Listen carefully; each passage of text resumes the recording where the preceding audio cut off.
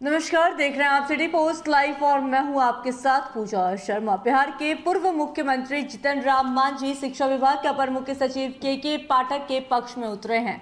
बताते चले आपको कि जितन राम मांझी कहते हुए नज़र आ रहे हैं कि जो भी शिक्षा विभाग के अपर मुख्य सचिव के के पाठक का विरोध करता है, वो गरीब, दलित, अल्पसंख्यक विरोधी है। यह कहते हुए नज़र आए शुक्रवार को सोशल मीडिया एक्सपर्ट ट्वीट कर कर ये सब कुछ लिखते हुए नज़र आए। बता दें आपको कि जितन राम मांझी ने ट्वीट करते हुए लिखा है कि के के पाठक का विरोध करने वाले गरीब, दलित, अल्पसंख्यक विरोधी है, क्योंकि सरकारी विद्यालयों में अधिकांश इन्हीं तबके के छात्र, छात्रा खासकर भुइया, मुसहर तबके के विद्यार्थी ही पढ़ने आते हैं।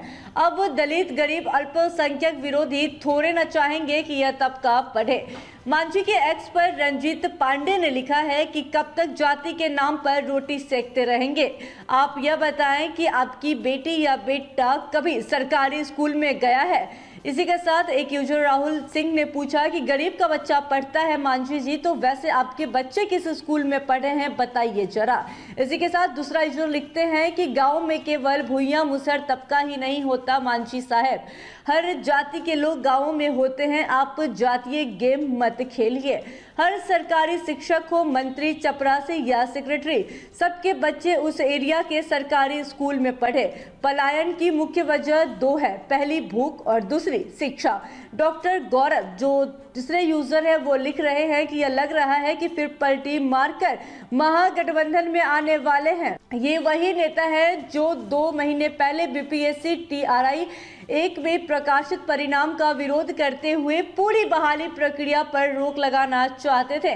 शिक्षा विभाग में के के पाठक के कई फैसलों की आलोचना बीजेपी कर चुकी है। इस कतार में सुशील मोदी से लेकर नवल किशोर यादव जैसे एमएलसी भी शामिल है। बिहार के राज्यपाल ने भी के के पाठक के कई कदमों की आलोचना की है। जितन राम मांझी ने एक दिन पहले के के पाठक के बारे में कहा था कि वैसे तो के के पाठक साहेब शिक्षा की दिशा में अद्वितीय काम कर रहे हैं, पर यदि वो एक काम और कर दे तो शिक्षा के क्षेत्र में ऐतिहासिक सुधार हो जाएगा। मुख्य सचिव का बच्चा हो या चपरासी का, विधायक का बच्चा हो या फिर मंत्री का। सरकार से वेतन उठाने वाले के बच्चे सरकारी स्कूल में ही पढ़ेंगे। यह ट्वीट करते हुए नज़र आए थे और आज सोशल मीडिया एक्स पर के के पाठक के पक्ष में उतरे हैं और कहा है कि जो कोई भी के के पाठक का विरोध कर रहा है, वो गरीबों का विरोध कर रहा है, दलितों का विरोध कर रहा है, अल्पसंख्यक का विरोध कर रहा है।